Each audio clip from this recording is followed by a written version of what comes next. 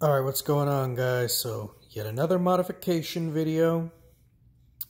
This time on the Cold Steel Norse Hawk, which I'm not quite sure is in fact a genuine Cold Steel product. I'll show you why in a minute. But uh, before I do that, just I feel like a broken record. Um, let me just go ahead and show the handle here real quick that it originally came on. Just uh, as was the case with all of these uh, hawks, the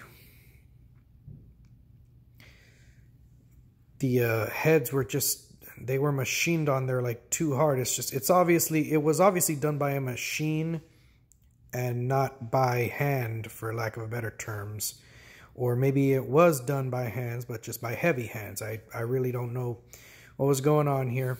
Handles were beyond repair. So I obviously swapped it out for a 30 inch handle. I know before you guys ask me, well, why didn't you just get the uh, the regular um, 30 inch uh, Viking axe. The reason for that was, believe it or not, run into the same problem, and I really didn't. I wasn't feeling the shape of that axe head. That that little flat bottom just I don't. I can't explain it. Just it kind of irked me. Uh, and the new version that came out doesn't come with a sheath. So I'm sorry.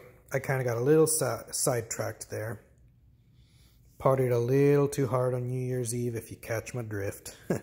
but anyhow handle was swapped out for 30 inch handle. It was stained with Thompson's water seal, stain and sealer. Hold on a second here. Let me pull this up. The head was stripped with Citristrip stripping gel. Now the reason that I'm wondering if this is a real true cold steel product to begin with is right off the bat I noticed it was a little strange that uh, I mean, it had the sticker. It's even got, man, I thought that this was going to come off when I stripped it, but it even had the same Taiwan stamp on it. But even though you can't tell from the video, the uh, the weight of the head is just off. Right here, there was no paint uh, where you see that it's a little shinier than uh, than the rest of the of the uh, the axe head.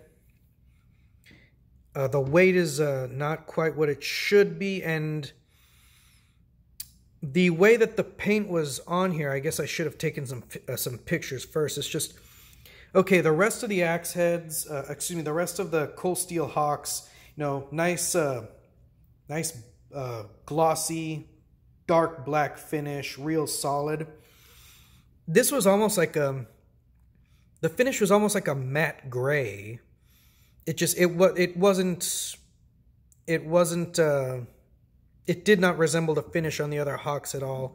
And like I said, there was pretty much no paint on here, which just kind of made me wonder. It's like, you know, is, is this really a cold steel product? But I have been told by uh, people who work for Cold Steel directly that it is, but apparently for this particular Hawk, they used, uh, I guess, a different metal. Hold on a second. I'm going to just reach back here real quick. You'll see why in a second. This is just for comparison. I mean, look at this head. And that's uh, that's the Cold Steel Warhammer. This is the finish that I got on the rest of my Hawks, with this one being the exception to that. You can obviously two separate metals, but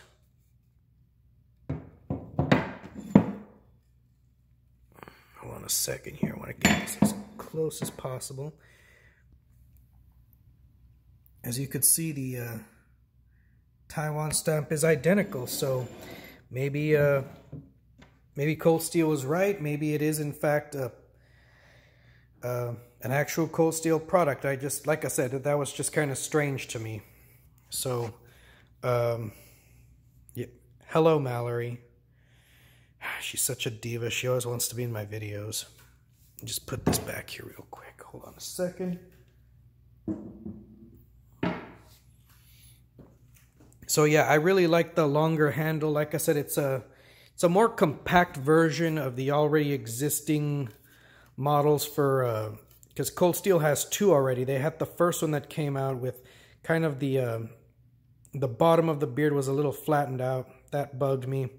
I think the new one has a six inch blade. This one is only four inches. Like I said, I uh, I like these compact, light, wieldy.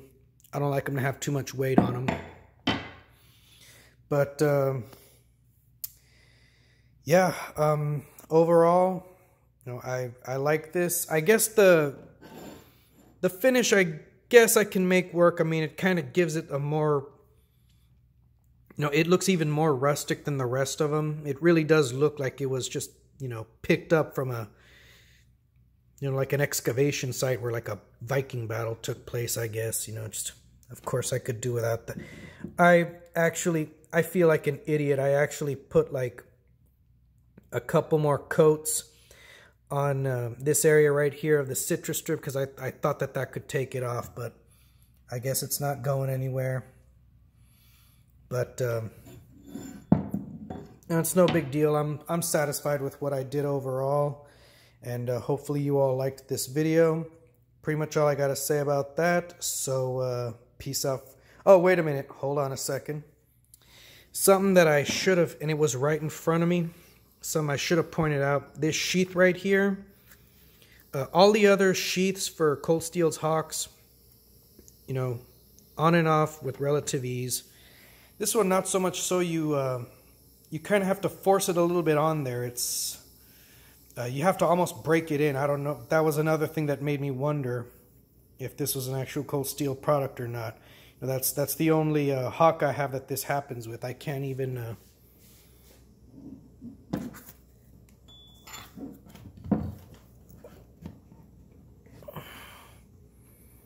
See, I can't. I, I can't do it one hand. You see, any if I have any of the other hawks, I would be able to put it on, take it off with relative ease with just one hand. With this one, it's... You kind of have to... Well, I can't do it with just one hand, but... Uh, yeah, that was another thing. Uh, I know that a lot of people don't really care too much for the set screw, but at least in this case, removing, I tried to not do the set screw at first with this one, but uh, removing this uh, sheath is putting it on, taking off. It's actually so tedious that if you don't use the set screw, it could actually wiggle the axe head loose. That's uh, definitely worth mentioning. Sorry about that. Um, so let me get this off here real quick. Hold on a second, just gonna put this down for a second.